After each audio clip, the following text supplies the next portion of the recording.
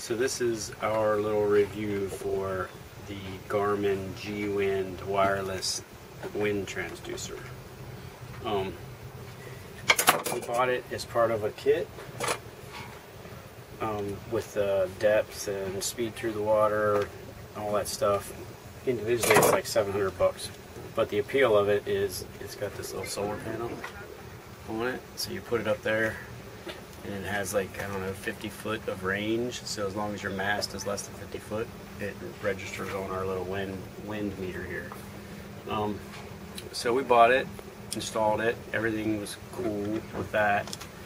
Um, August 10th, we got caught in a squall, and we anchored to ride it out. Um, we left the transducer on, and we was watching the wind. It was like torrential downpour and whatnot.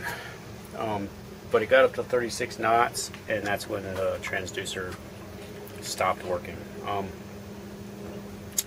took me two weeks to get into a position where I could climb up the mast and get it back off, and I took it apart. It was all dry inside. So went through the troubleshooting, and we figured it was the battery. Um, so we ordered a battery. That, that took eight days. So now the new battery's in there, and it works again. Um, I'm thinking what the problem is is that little weep hole that's probably designed that if water gets in there, it escapes. Water got in faster than it could escape.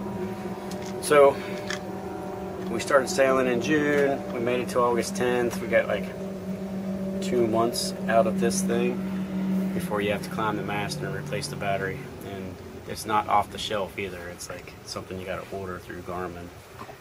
Um, so yeah, if I had to do it again, I would not get this, um, especially since I was replacing all the wiring in the mast anyway. It didn't really benefit me to have a wireless transducer.